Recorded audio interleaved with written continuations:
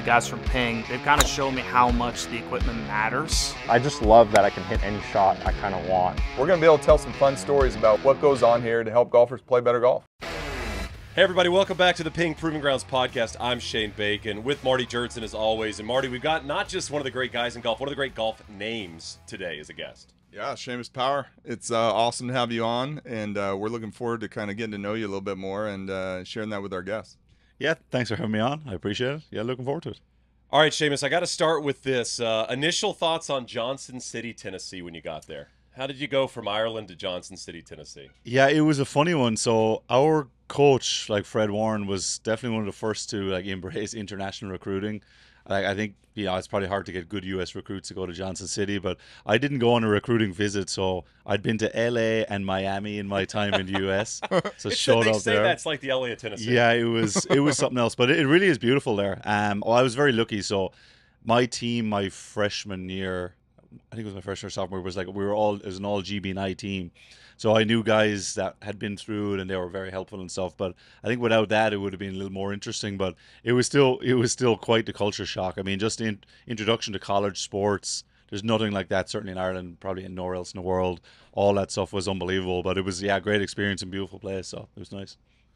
What? Uh, so you were there for four years. Yeah, yeah, I stayed all four. Yeah. So, so what was your journey like? You know, from your freshman year to your senior year. You know, from your own personal golf game progression standpoint. Yeah, it was interesting for me because I came in like under the radar, but I actually had a very good freshman year for the most part, and then I had some like hit and hit and miss stuff kind of my next couple years, and then it was interesting as I wasn't even sure about professional golf really until my senior year. I didn't play very well in the fall because I had knee surgery like the summer before my senior year, but played very very well my last semester, um, and that was kind of the best I played in college, and that was kind of thing that I saw enough to like oh, I'll give professional golf a shot. So, so right there, going into your final semester, in your mind, you were teetering. Were you, were you favoring maybe not Yeah, I wasn't. pro? I wasn't sure. I mean, I was lucky enough to have like we had Rhys Davies on there, who's like one of the best players in Yeah. college golf. He was there my first year, and then there was Garrett Shaw, who's minimum two or three time All American. They were like he was like our best player my second year, and then there was other really good players. So I wasn't. I'd never been the best player on our team, so I was looking at you know all these other guys. Like we played against Georgia, and you were looking at a team, and you'd like Russell Henley, Harris English, Hudson Swafford, Brian Harman, and you're like, wow, so you're gonna have to play against all these guys. So it was a little up in the air for me. It wasn't one that like, like 16 knew where I was going to go with it. Yeah. Um, I was later to golf, so kind of later learning all that side. So it was a little different, but I saw enough my senior year at least to give it a shot. Yeah.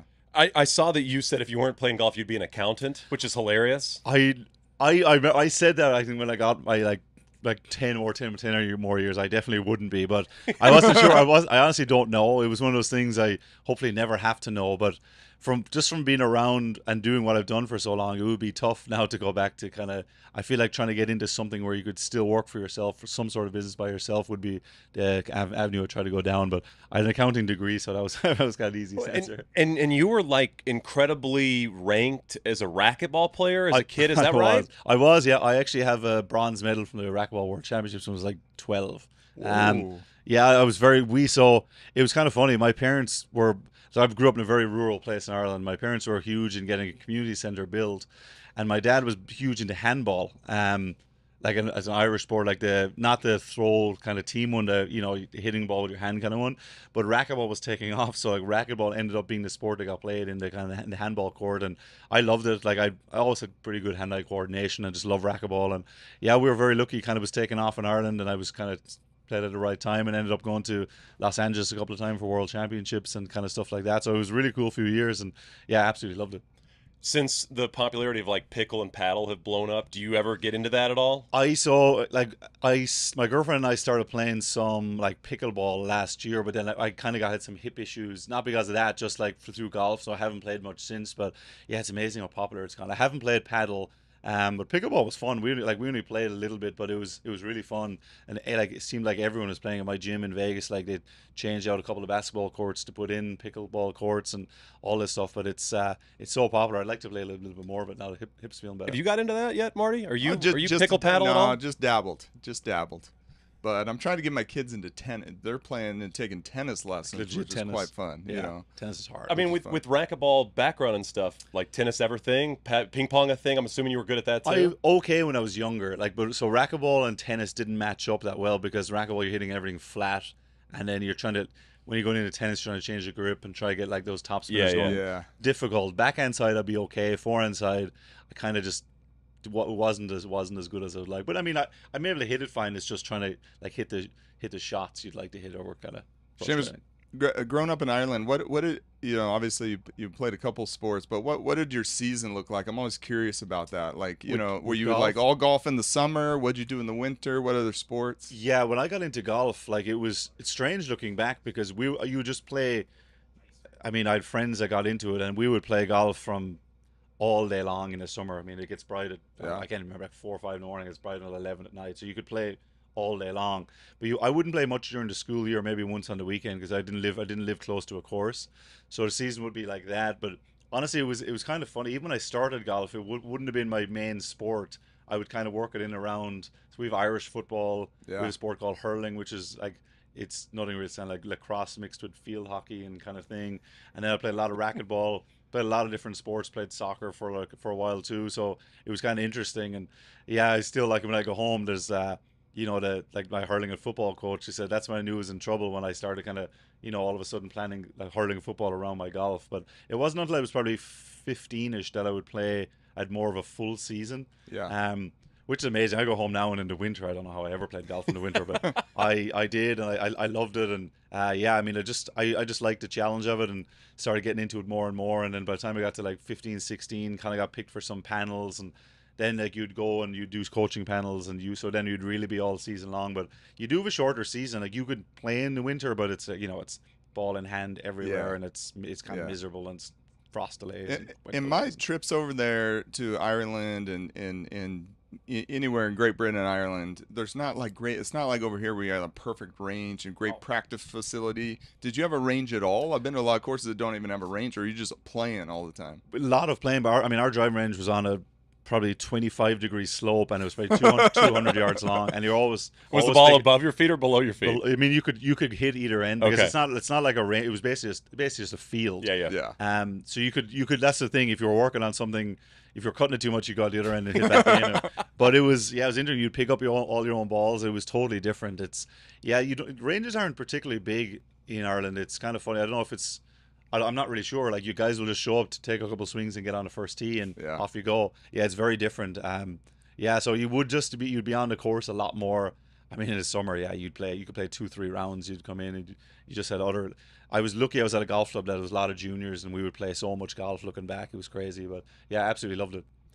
Americans go across the pond and they have to work on flighting the golf ball. Yeah. Did you have to learn how to hit the ball up in the air?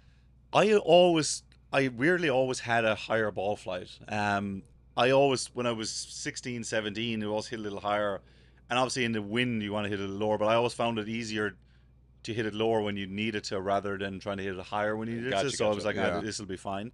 Um, but you do have to learn yeah, different shots. But the biggest thing is like going from never playing Bermuda grass to go chipping on Bermuda grass is just it's bizarre. You it looks like a fine line and you hit it and it goes a foot in front of you and you're that takes a little bit of time because it messes with your mind. Like we obviously play a lot of shots around the greens.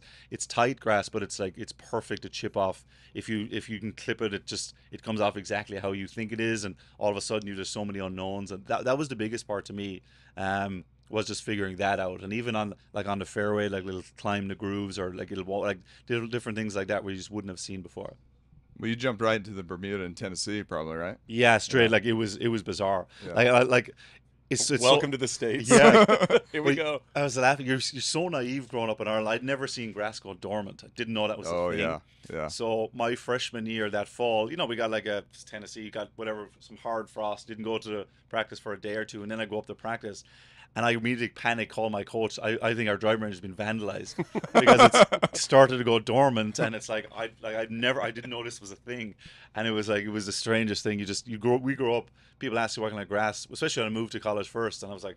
I have no idea. Grass is grass. Like there's, we don't have different types, and all of a sudden it becomes such a thing. And you know, playing out here now, you you have to be very aware of, you start to figure out what to do on certain ones and all that. But that was a that was the funniest adjustment for me, and especially then coach like sh- driving up in a panic, thinking we've been vandalized, and he's looking at me like I'm an idiot. So it was uh, it was an interesting introduction. Seamus, uh, in your time in college, you start working with Scott Sullivan, right? Yep. On just kind of inter- introducing you to equipment optimization, some club fitting things. Yeah. Tell us about like your first experience with Scott, with Ping, and and and uh, you know some of those times in college. Yeah, it was amazing. I mean, when I came to college first, I had a mixed bag of everything. I think I'd like, I, I wouldn't, I'd be terrified of him now, but like those small MacGregor irons and like mixed bag of everything. Kind of, I think I, I don't remember what putter. Yeah, so like, like Scott then comes in. He would always come. We have our the Bank of Tennessee in like October, and Scott would like come in and do his like like uh, trip in around that.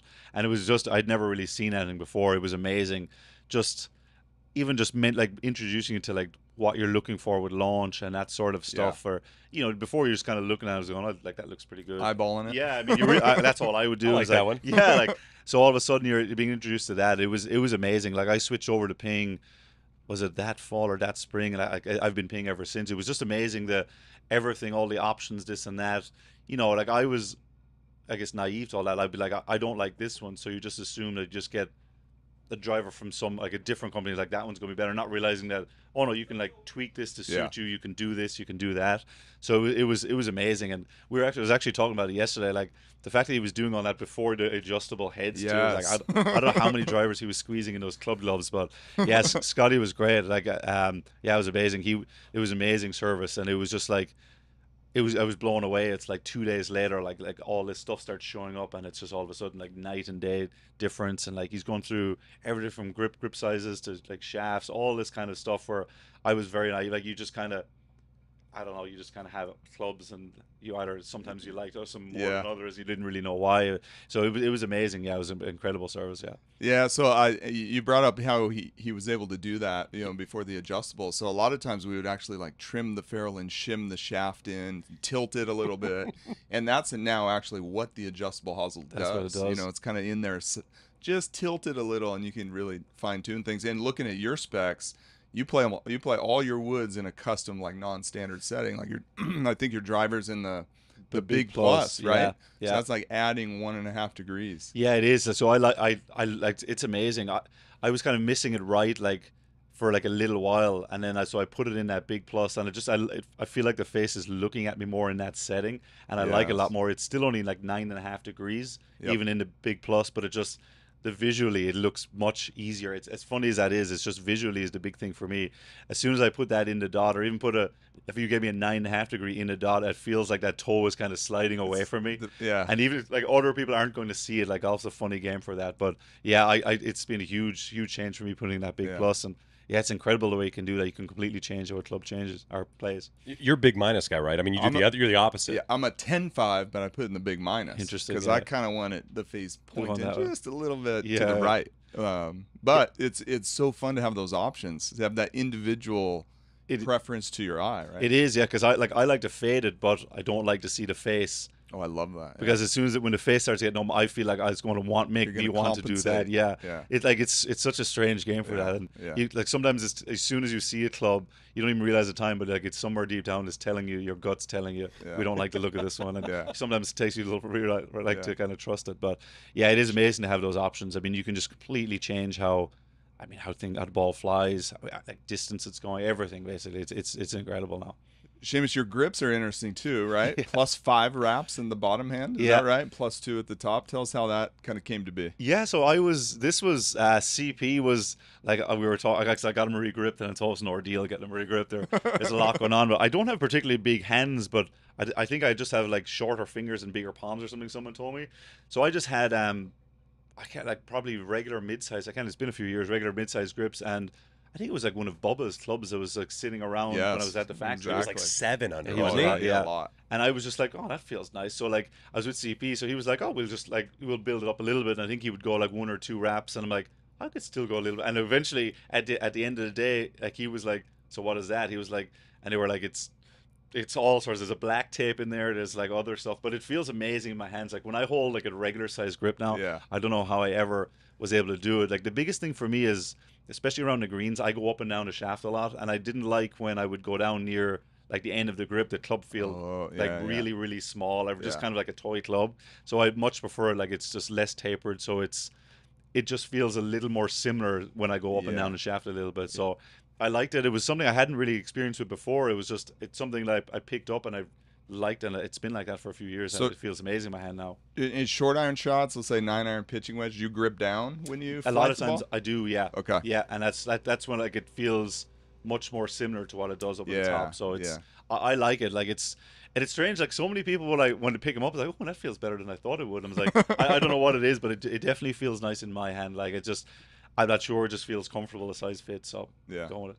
Can we talk about the back-to-back aces at the Masters? Yeah, for Um, sure. so the first one goes in. Yeah, You have a moment. Everybody goes nuts. Obviously, that's a lot of fun. yeah. The second one's in the air. I mean, what's going through your mind? It was the craziest. Like it was, it was, was on seven. I actually lipped out. Like I got up to seven and it hit the hole and I was like this far from the hole. and then so I was like, oh, that would have been just cool. like the most dialed ever, right? Yeah, and then you get on eight and we're waiting, and I I played the previous year and the pins on the front, and this green just comes ripping back. So you're like trying to land it thirty feet past it, and as soon as it lands, you're like, I knew like from last year, you kind of knew how it was breaking. I was like, oh, that's got a chance, and it just went in perfectly. And then yeah, it was it was a crazy feeling walking down, and like that part of the par three course, it's so loud, it's where all Right. the people are. It was amazing walking up there and get to nine T, and like you know, there's people like behind the nine T. They're like you know, you know, see, see if you can follow that. But all these guys like saying this kind of stuff. And I was like, and I honestly on nine didn't even hit a particularly good shot. I probably pulled it four yards, but it funneled off the left slope back in, and that was that was obscene when that went in. I just like I didn't know what to think. And then yeah, it was, my brother was caddying for me. I thought that was funny because I feel like he was probably the only one who wasn't delighted because he was the one that like he was following that, and I was like, yeah, good luck with that one. so it was gas. And then I'm walking up, and they were signing out like they're called a group up behind, and Scotty Scheffler dunks it in on top of my ball. Unbelievable. Like, so like you had to even pull Scotty. Scheffler's ball out as you're getting your out. I yours left out. it in there for him, Nice. but yeah, it was, it was in on top of it. Yeah, it was. That's it a was, rare It's scenario. a- that's a- Yeah. that's a- What should I do here? Purposefully funnel pins is always fun, yeah, you know. throw it in the water for him. But no, it was it was amazing. It was like that's such a unique experience that like the, the year before, like I, I don't have kids or anything yet, but like I was playing with uh, Scott Stallings and Keegan Bradley, both of their kids out, and it was just it's just nothing like it. It's just a blast. There's everyone's in good form. Everyone's happy to be there. It's just amazing, and obviously to have like memories like that, and then they send, which is kind of a cool thing. They send you like crystal, but it's like so it's Mm. Waterford crystal, which is where I grew up in Yeah, yeah. Ireland. Wow. So it was like I seen the boxes come in. So it was it, was pretty special. Just uh, yeah, I mean. Everyone like I get asked about it. It was like on ESPN top plays Yeah, and this yeah, thing and yeah. that. So it was it was fun. It was just a I don't know. It was diff- It's different to normal hole in ones, and obviously the back to back ones was absolutely. absolutely Uh, your brother hit after you made the second. he did. one. Yeah, Where'd he go? He hit in the water. Unfortunately, yeah, he actually hit, a- There he actually hit a pretty good shot, but it was yeah, it was tough to follow. How nervous was he? I mean, I- you know, I mean, I can only imagine if you're sitting up there cold turkey, right? I mean, you Yeah. haven't swung all day. So I, I have twin brothers, so it's funny. So like, like they did back to back years, and like they don't play a lot of golf, and then they're like. They're like carrying around. They're like, I haven't, and one of them was like, I haven't hit a golf shot for like four months. I'm like, no, this is not a good place to start. But they both hit decent shots. But they like, it's that's a tough one because there's just as you said, water all around, and it's a lot of people. When you're not used to it, it's a lot of people around. So yeah, they had fun with it. Though. Uh, since we're on this, this is a big debate on social media, so I'm going to ask you this: Do par three holes in one count? I definitely counted them. Like I, I remember someone asked me that interview right afterwards. I'm like, I, I, I get it, but I feel like they were long enough. Or one was like 130, and one was I think they were both like 130 or something like that. I, I do get the debate, but I'm definitely counting at Augusta. I think if, if I get it from eight yards at Augusta, oh I'm counting it. Well, I, I, I say this. I, I always ask people this. I'm like, how many times do you hole out from 80 yards? You know, if you're a 10 handicap, it's like once in your life, Yeah. then count it. Yeah, if you made a hole in one from 80 yards on a short course, I who agree. cares? I'd say count it. Yeah, like if I, I mean, I was saying Pebble last week. If I get one of number seven there, I'm definitely counting it, and that's Absolutely, shorter. So I was like, I don't know. Yeah. I, I, I definitely did. I definitely did. It. What what what wedges do you bring to the par three contest, or do you have to bring like a nine iron, or is it all wedges? There is. I brought up to a nine iron. There's. I can't remember the exact. There was one hole that's like high 140s. Okay. Um, is it number five ish? It's really fun. Like, and they changed it up. The two years I've played, like they completely changed it. It was amazing that we were able to do that. Like the first hole was completely different. It was several holes that, that changed a lot. Yeah. So it was it was pretty cool. Like you've. The first hole is short, and then the third down the hill is like 70 yards downhill, which is a very unusual distance for downhill. You look like you just throw it on the green. But then I think it's four and five are like little longer where you're hitting like 140, 150 yard shots. So I think I carried up to a nine iron just to be sure in case it was into wind or something. So your wedges, Seamus, you play a 58. I Have do. you ever used a 60? Did you grow up with a 56? How did you settle around I 58? did. I I just liked it around. I liked it around the greens. I did uh, like I had at sixty at one. I had six, six, I went the other way at 60, 56, 52, pitch or probably forty eight. But it's I like chipping with the fifty eight, and it fits my set a little bit more. Like the pitching Yeah. wedges have gotten strong, gotten stronger over the Yeah. years. So like that gap between forty six and fifty two is getting a little bit too big, kind of thing. So it was like I. I liked it, and then I much prefer chipping with a 50. I do most of my chipping with a 58. It's just right in between everything kind of it just always kind of made more sense to me um instead of like swapping between 60 and 56 and all that yeah. so i like that there as soon as i was okay with that then it made made the gaps going through the bag just a little That, bit easier that's rare. I'm always curious if a if if a player's gone from a 60 down to a 58 for greenside, and that that's what you you've done that. yeah i do yeah I, Yeah. I like it it gives you more Yeah. obviously if one time you have to hit a flop shot you've got to open it a little bit more or whatever Yeah. but I, I feel like my standard chip shot is just a little bit simpler with with the 58 So you go it's a 60. 58, then 54, bent to 53. yeah I think right. they're basically at that point all just fitting the fitting my yardage numbers yeah because i do Perfect. as i said i do most of my chipping with the 58 so my like my lob goes 100 yards and i want Yeah. like that 54 53 Yeah. goes 116 and you know like 130 and then 145 so they match up to the, my like i feel like my pitching wedge with the set like dictates one dictates one end and then the wedge dictates the other and then you just Yeah. try and match up Seamus, I love this because we are built with the new S159. We built this really cool wedge app that does the gapping Oh, right no for the players, Wow. so they can do exactly what you've been able to do out here. Yeah. You know, with the truck and the TrackMan, Yeah. and It- figure out your gapping. Yeah, for me, it, it, it makes it so easy because then it's the most you can be away from a full wedge shot is going to be seven yards, seven, eight yards for me. Yeah. So then it's like you just have to need, basically need one other shot with your wedges, which is that one in between, and you should Yeah. be pretty set from all the way from 90 yards all the way from me to 145. So it's a big gap. We hit a lot of shots in that, and it's nice when you don't have to worry about too much about taking stuff off or this or that or all that. Yeah, Uh, Seamus, you played so well in the 2022 PGA Championship. I was reading some of your quotes after, and you were like, "I wasn't that far off from getting in the playoff." It feels like that gave you a lot of confidence. Can you kind of go back to that Sunday after the great round on Saturday and just what you were feeling? At, Like, how were the nerves going into that final round? I actually felt great because I was I can't remember what group I was. I was maybe fourth last or fifth. Like I wasn't like right in it, but I wasn't too far away. And it was that it was the golf course that was going to play played very difficult Right. that weekend. And yeah, I had chances. Like I I look back, I got a I had a very makeable like birdie putt on nine for maybe eight feet, a lot of break, but still one you hoping to make. A three putt at ten, like again, it's a tough green, but you you would like I wouldn't have expected a three putt. And then I had really good chances on like what is that par five like 13 I hit flew it right over the top of the pin and only made a par. And I lipped out on 16 didn't birdie 17 I was like there wasn't much out of playoff in the end. It was like damn what, what could have been? But that's golf. And it was fun to be in I hadn't wouldn't, hadn't played many majors at that point. So it was fun to kind of get get into a position like that in a tournament. Like there's definitely a different feel to them um like you you I've heard it from guys forever they're like it you kind of mem- our majors feel different even showing up on a Monday and it, they definitely do and that that was that was a special week I had a good run like even in US Open then not too long after that was another good run there so yeah it was some some some positive stuff so hopefully can kind of get back in there again this year Seamus, you're you're. Uh, let's talk about your putter a little bit. You're playing the PLD three, right? Yeah, And and uh, I'm in the office. Tony Serrano would always come in and when you guys were working on that and talk about the design, the nuance. You were super involved in the design of that putter. Yeah, it was yeah, it was cool how, how it came to be. Like I, I like Tony was kind of he was sending me like designs. Yeah. the, like it was, and it looked it was amazing. And he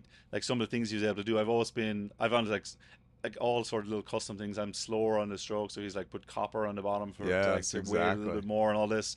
But I love love the design, absolutely love it. And originally we designed it in the different hosel, so probably I can't remember what number. It looks like the kind of the bend hosel. Yep. The and uh, but then I saw that like the Ansers. I think the Anser four hosel I have now, and I absolutely loved it. It's been ever ever since. I've gotten a few kind of variations. One like in the Anser style head, and one even this week like uh like a the small Ketsch head. Yep. But it's Yeah. hard to get me out of it when I have absolutely love it. It just it makes like I love I like the size of it where it's like in between. Mine's like it's that whatever you call it. Like it's not the full size. Um, It's like a mid mallet. yeah, like yeah, almost a something like that. small mid mallet. Yeah, right? it is. Yeah, And it's, it's not particularly deep, right? So it's it's Yeah. it's very nice, and I always thought it looks cool as well. Like Yeah. obviously in the all black as well, and yeah, Tony Tony did a great job with it. But it was fun to be involved on. I mean, I, I don't know how much he was taking on, but just even to see like which line he was like, he was able to show me what options there are and all, all that kind of stuff, and yeah, it came out really well. Absolutely loved it. That was, Yeah. I mean, that's probably six, it's gonna be six years ago maybe now, and yeah, it's pretty much been in the bag ever since. Yeah, it's that cool. was super cool. I remember him working on it in our CAD software, and then he'd send you screenshots Yeah. and back and forth. And from our iPing data, that's our tool. We we put you on, uh, you know, um, uh, an iPod on your and measure your putting Yeah. stroke. You have always you mentioned it, but you've always been on the slow tempo ratio Yeah. side. So our fitting logic there is that you need you folks with a slower tempo ratio do better with a heavier putter. Yeah. So is that something you've kind of noticed just it, it is. experimentally? Yeah, it just feels, especially when you get to like, you know, it's like slightly longer. I've always been an excellent short putter, so I was just trying to add a little bit more to like mid to longer putts, and just felt easier. It felt, you know, like if you get 40 feet with a regular weight putter for me, I feel like I'm taking it back to my waist to get it like long enough. Yeah. so like with the extra weight, it just gives you a little bit, a little bit of help there where you kind of need it. But yeah, it's it's great. That, that one's a nice mix. I said it didn't affect my short one. It was excellent. I love the white line on top. It's clean and everything. And um, yeah, it was great. I was lobbying to have it called SP1, but didn't quite get it. We'll Get, get it, there. We'll get there. You know what? Just win the Masters, and then, Yeah, you really start to make your demands. I mean, I think that's the key. You, know, you go back to kind of college days. You talk about a mixed bag. You know, you get this ping bag full of clubs, and then all of a sudden you play ping, and then you get to this point in this pro career where you help designing a putter. I mean, do you have these moments where you kind of sit back and go, "A, I've made it," but B, this is pretty crazy from a kid from Ireland that's going to you know East Tennessee State or whatever, and now all of a sudden I'm helping make this putter that you can sell and go get. Yeah, I mean, like I like I've like I I try to remind myself not to lose perspective on stuff like as it is it is pretty cool. Like it's I, I the biggest moment for me always is is with the ping stuff is when you go into the vault and you actually have because I remember going in there in college and there was you know you're blown away by it and sure. it's just like Mhm. you're looking Yeah. for your favorite player and then like I have like some putters in there now which is that's when it kind of hits it home to me but yeah having a, having the putter design was was was amazing and yeah I mean like it's it's been a cool journey for me with ping I said I, I switched that I can't remember my freshman or sophomore year, and I I have I like I haven't changed anything almost since. It's like it's so it's been a it's been a real really cool journey. And it's like like Scott Sullivan, like I mean I still I when I get to see him when I'm in the office and stuff, he's still in that position, which is amazing. Like it's like he's so good at his job, and that's like I mean the staff and everything has been it's been it's been amazing. It's I always say like my my coolest thing that I can say about Ping is like over the years is like when I was in college, you're treated incredibly well, and I, I feel like no matter like I was in mini tours all the way up, you're still treated incredibly well. Like no matter what, Yeah. if you're struggling, if you're playing well, they still treat you like incredibly well. It's it's amazing. And the equipment is fantastic because you have like you've had more and more guys go to like the, I don't know what you call like free agent type Right. deals now. And I was like, like people asked me if you thought about that, and I was like, if I thought I could find something better, maybe I would. But like I like I I don't think I like everything I have is it does exactly what I want it to do. So like it's amazing equipment and it's it's been a it's been a great run.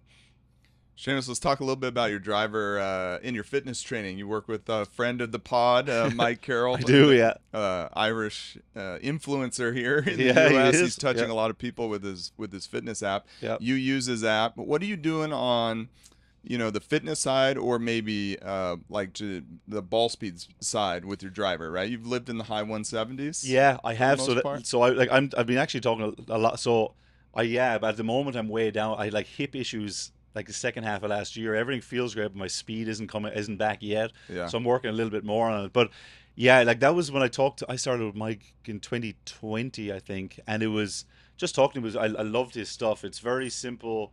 You're not like it was like new kind of technology, new stuff where you're you're much more efficient in the gym with your stuff. And then Yeah. obviously golf wise, he was like realistically, his job is like to keep you injury free and to then try. Especially at my age, like this, I would have been like getting towards my mid thirties. It was like at minimum you want to be keeping your speed. Ideally, maybe able to like pick Yeah. some up if you can. Yeah. I mean, all the stats now show how much of a help it is.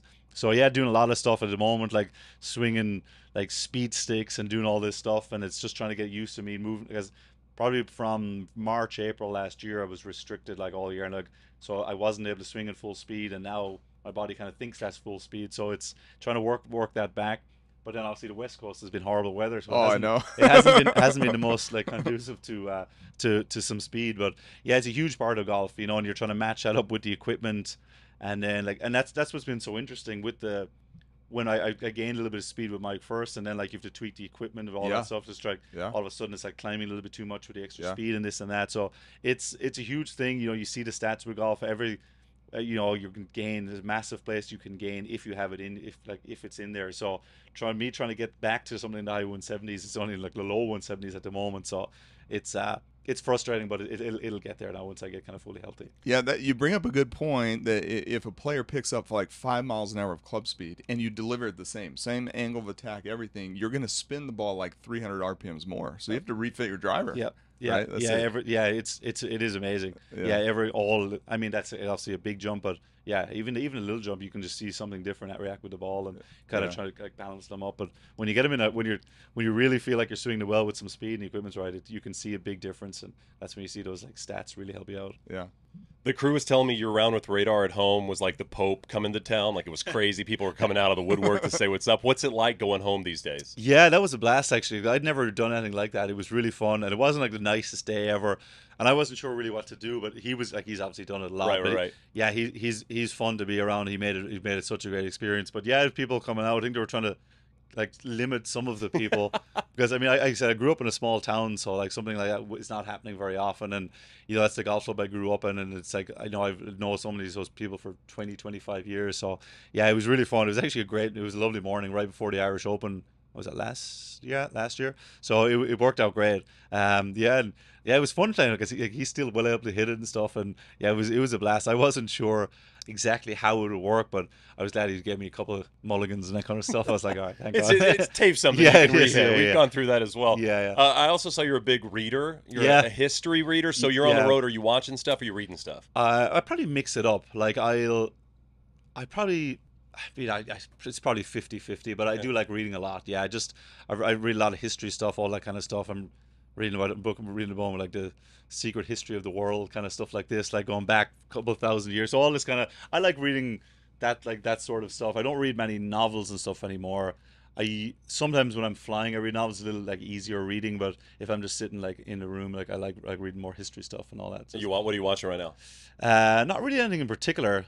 Um, Are you like a mm. brain dead watcher? So like if you need to go to bed, you got an early tea time. Are you Sometimes, trying to yeah. like dive into like some show that you've seen a million times? it, it depends. Like late at night, sometimes I'll put on like I'll put, often put on like The Office or Yeah, yeah. something. that, American or UK? I actually have always watched the American Okay, one. Really? Yeah, yeah. I, I was I missed. I was James just rolled his eyes. By the way, so annoyed at this. I actually was late to both of them. I didn't watch any of them until they were all done on TV, so that was that's my one excuse. But yeah, it is funny when Ricky Gervais makes little like appearances in the in the American. It's one. so great. Yeah, it's And- just like such a little Easter egg. yeah. and I'd always watch the American one first, and I started watching like the British one, and the first couple episodes are identical. It was really funny because, but after you've seen the American one, it's weird because then you picture like each character a certain way, and all of a sudden it's different. But yeah, they're they're very funny. But you know, if I'm by myself, like again, I watch like docu series, and they've like Netflix is brilliant for World War II stuff and all kind of interesting kind of stuff like that. So I'll usually, if I'm by myself, that's kind of what I'm watching. You ever dive into golf history stuff? I mean, you got into that at all? Not, really, no. Like I've learned some, but I, I'm not. I'm not great with that stuff. I, see, we didn't. I didn't grow up around golf.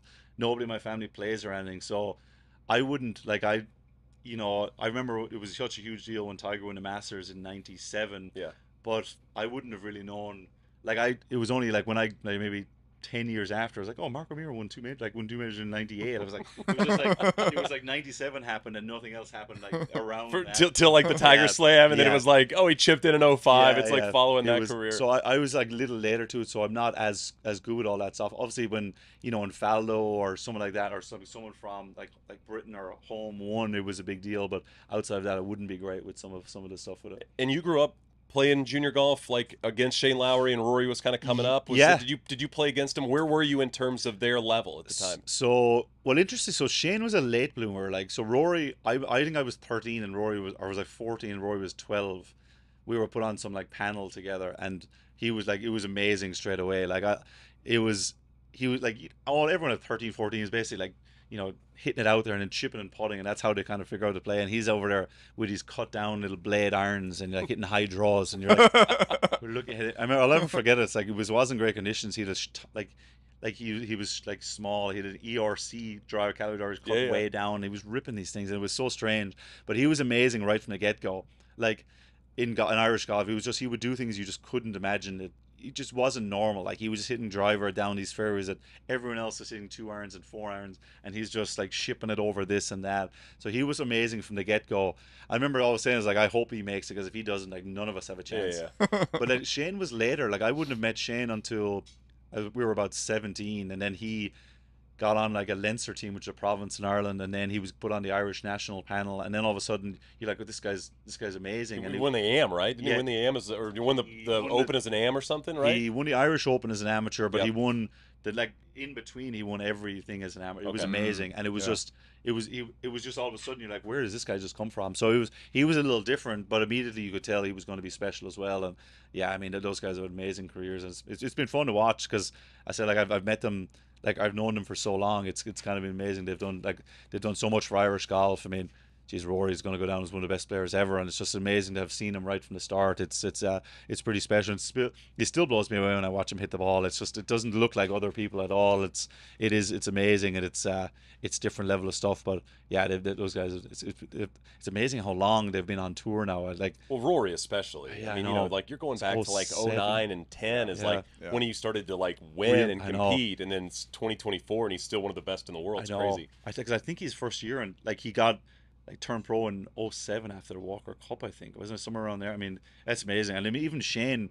I think this is maybe like Shane's 15th year as a professional. It's like, Wow. what in the world? It's amazing where the years go. But yeah, those guys have, have done so many amazing things. And yeah, it, it's been really cool to kind of watch and follow them as, as, as they've come up.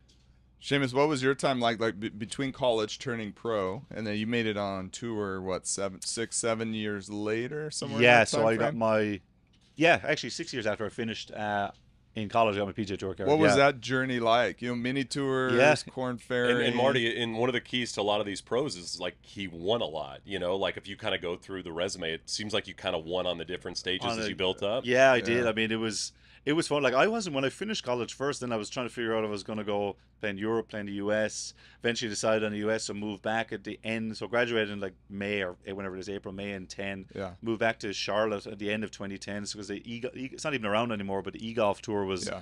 and it was. I tried to tell people like it was a it was a really well run tour. Like my first year, like you- you'd get 30, 35,000 for a win. It was like properly run. It was really like they they, done, Yeah. they did a really good job. So I, I went, to, you know, I started playing in 2011, and like I mean, it just shows like I wouldn't have had a whole lot of money turning pro. Like I remember my first tour, and I'll never. I always tell people this is like whatever said. I, I think they might have been like Wednesday through Saturday. So like I booked my hotel to check out on Friday morning. It's like, it's like I can't risk this two hundred dollars if I miss the cut. So I That, checked that really out boosts the confidence yeah. too. but made the cut like and I remember thinking this is the greatest thing ever pulled back into the hotel like sitting in a car park trying to connect to the Wi-Fi to book it on Priceline again I was like, but uh, that's I mean that's what you do in mini That's tour mini you're, you're trying to you're trying to keep the expenses down but I was very lucky like the e-golf tour was was really it was very strong so I ended up playing that for four years you know I like everyone else I mean, mini was I my first in 2011 like I got through I was at second stage and Ben Curtis makes like a 40 footer across the 72nd green to stop me from getting through second stage. Oh, we both would have got through. Like I didn't have a great last round, but I made like a 10 footer in the last, which I thought got me through. Like when I got to Oh. the scores tent, they were like, "We think that got you through." And then I see this putt, and you're like walking the car to go to the airport. It's like I hope that didn't. Uh, Oh, that cost Can that me- please be for bogey? Yeah. Oh. so if he two putts, we both go through. But anyway, don't, don't go. And that was when it was. I guess the cards are back, but it was still like 25 PGA Tour Right. cards at Yeah. that final stage. And Patrick Yeah. Reed like was at that like stage. I mean, it was that same kind of timeline. And you know, 12, I go to second stage. I think I missed by second stage by one or two shots again. I'm like, oh god, this is terrible. 13, I go to first stage, get sick at first stage, finish like last. I'm not sure I broke 80 because I was like, I might as well try. Yeah. And then 14, like I had a great year on mini tours, won multiple times, like did all sorts of cool things. But then you're going still going to Q school and you're like, oh, this needs to count. But yeah, it's a Q school is a horrible like it's it's a tough tournament because you're all you're worried about is not playing. You're not worried about playing well. You're worried about not playing badly. Right, right, right. Mm. But I like we was at the PGA National and like it was six rounds and uh, I Yep. chipped it stone dead for birdie and I was going to finish like it was card was well locked up but I was standing looking into the water and I was like geez I was so relieved it was just like and I was like I remember thinking I was like geez I got to do everything I can to make sure I never have to come back to this again and I haven't been back to whatever that was that was 2014 so yeah I got on the Corn Ferry and then I don't. I rough start my first year on Corn Ferry, but then kind of got got my feet under me, kept my full card, and then I won in 2016, and it kind of got me going and got my card in, into fall of 2016. Marty, do you remember your first mini tour tournament? Yeah, it was. Uh, it What was tour the, was it? It was. It was the Hilton Open in uh, Socorro, New Mexico. Nice. Yeah, Socorro, New Well, Mexico. How nervous were you and how'd you play? I was pretty. I was pretty nervous because you're pony, you're ponying up a lot of money. Yeah, you are. Yeah. I'm splitting the hotel room with three other players. The the high score sleeps on the floor. Yep, that's good. And, that's uh, good. But I I turned this um I turned a little profit. I think it was like six hundred dollar entry. I made like nine fifty. Nice. I Paid think I- for the next entry fee. I think I told you this. My, my first mini tour event was Pepsi Tour out here in Oh, yeah. Arizona, and um, I made more money. I shot like seventy eight, and I made more money on skins than the guy that won it. It was it had it was a mini tour tournament that had skins you could buy into. I remember and I made like Tour. two skins and won more than the guy that got first that oh day. And I was like, this is gonna be a tough sledding. This Yeah. is not gonna be the easiest thing in the world. Yeah, mini mini tours is not glamorous at all. It's tough going. It is tough going. I like the high score sleeps on the floor. Oh Yeah. yeah. we always did that. Yeah. you got to putt over the last. Like, how stressed were you? Like, I don't want to sleep on the floor. My back's hurting. That's Yeah. what I'm worried about. Um, Seamus, goals for this year. Kind of what are you looking at as, as what you want to do and accomplish in 24? Yeah, for me, it's going to be like like it started every year. It's going to be to, to to get at least one win. I mean, there's nothing like winning. Like I've been able to win twice, but it's just yeah, there's nothing like that. So that's always that's the one goes on the page first. And then for me, it's going to be get back in the top 50 in the world. So the injury second half of last year is kind of like obviously wasn't able to pick up any points or whatever. And then the other big one's going to be get to the Tour Championship. You know, the, the last two years now I've been inside the, the top 30 going to the playoffs, and then I haven't played as well as I would have wanted. This last year, obviously with the injury, and the year before, I just didn't play well. So it's like, like they're going to be my big three. Like, um, you know, there's a lot of little, you know, um, like statistical goals and stuff I have as well along the way, but they're going to be my big three that I'll be kind of, you know, looking at kind of regularly just to make sure I'm kind of heading in the right direction. Do you have a golf course that's your favorite on tour? TPC Sawgrass is hard to beat. Like we we we're very lucky we play so many, but that's a that's there's something about I feel like it's such a great test of golf. There's short holes, long holes.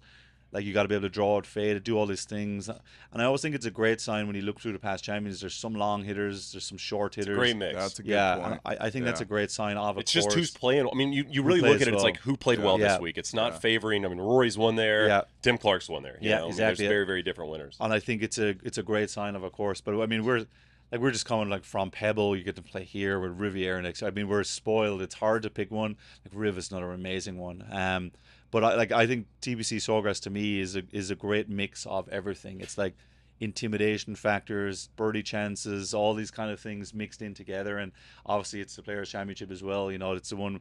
It's a, it's a non-major one where everyone's looking to win, so I think that thrown in as well is just it's just an incredible combination. Jim, so you you talked about some stats in your goals. Are you a big stats guy? Do you dive into them? Do you use them? Or are you kind of just uh, just I'm lightly? somewhere in between. Like Okay. the like some guys are. It's so interesting. The statistical stuff on course, I don't use as much as other guys, Yeah. but I'm always monitoring my own stats to like pretty closely to know because you could like golf is a really strange game. Like I. Sometimes like you can come off a course and you're kicking yourself and you're you're telling your caddy oh you're suck at this and so and then you look at the stats and you're like, huh, because you, for some reason one shot you might have hit really annoyed you. Yes. Yeah, Yeah. you, it might cover up like three or four other poor shots that you don't notice because Yeah. Everyone's the same. Like, at least for me, like there's a certain miss that a player like will annoy a player. If you hit one of those, it'll cover up everything else. Whereas if you hit three or four, a miss that doesn't bo- bother you, almost they almost can go under the radar. Yeah. But for me, then you always, for like a good way of tracking like the wedges and like all that sort of like proximity to the hole from certain yardages. It's a fun way to practice too. It's like I look at a tournament and or even how you are in the seasons. Like oh, I- I'm down in say 75 to 100 yards. So you just like extra little bit of time to practice that week, and then you, you kind of go like you know your next couple of, or next off week I have, it's going to be. Okay, that improved a little bit. This one's down a bit, so Yeah. then you and just kind of Yeah. go through it, and you eventually get to all aspects of it, and it's uh, I think it's a big part of it now. I mean, they know so much. The encore stuff to me is interesting because Like strategy. You're strategy was yeah. Okay. Yeah. you see some of them, and I some like I can see what they're what they're getting at, and they're not. I mean, they're not trying to get at anything. These these are the stats, but they don't take into account like how a player sees certain holes. Like I was like travelers. I mean, it's obviously very uh, like, but travelers, the ninth hole of travelers, like uh, stats say hit driver, hit driver, and I, Yeah. I've I've stood there and I was like, you can't see anything, you don't know where you're hitting it. it's like if I hit, if I pull this, it's in true, like, and, and it doesn't suit me at all because I've always played it. I played it very well playing it the way I like to see it play. And stats are tricky like that. I, I like seeing the stats to see what they recommend, maybe trying it in practice and see if you like it or not. Yeah. Rather than, but I've also played with guys who just like that's what they do. They're like, this is a strategy, It pull tells me to club, do go. this, I'm it. Very yeah, and they go, like a computer. yeah, like and some guys it's the same like with the you know on the greens obviously they've reduced it but like the aim point stuff remember like the books from a couple of years ago the exact numbers Yeah, yeah. I played with Joel Dahmen like I hope he doesn't mind me saying this but like he on We will played- not mind you saying Yeah, true, whatever no. it is. but we played at Pebble on and I was I was blown away I'm I don't think Geno or him read one pot all day long Just look at the book. they were looking because you know they had it. It was so exact. They were like pacing it off, and, and it was like this pot is this, and like he put it really well. And I'm like blown away because I I don't really I like reading putts and stuff. I've always been a good putter, but I'm looking at this going, is do I need to be adapting here or what? Like what's going on? So you kind of look into do a bit of research with it and see where I use it a little bit now in little spots. But it, I think you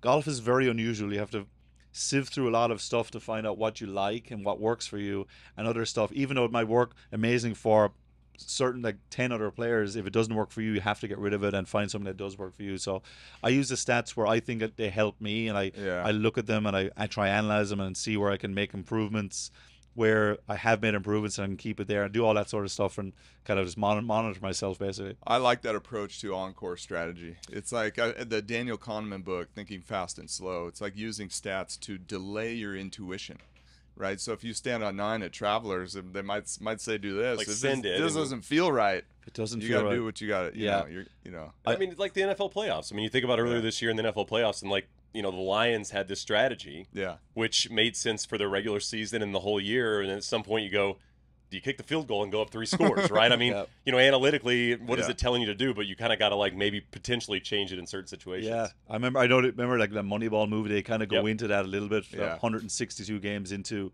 like a five game series, do you change it and stuff? And I mean, it, it's forever. It's all. It's in all sports. It's yeah. I was watching that Dan Campbell. Like, should he have gone? Should he have not? Yeah. And obviously, it's so you can't separate yourself from the results because if they make it and get it, it's like this is what stuck to them all year.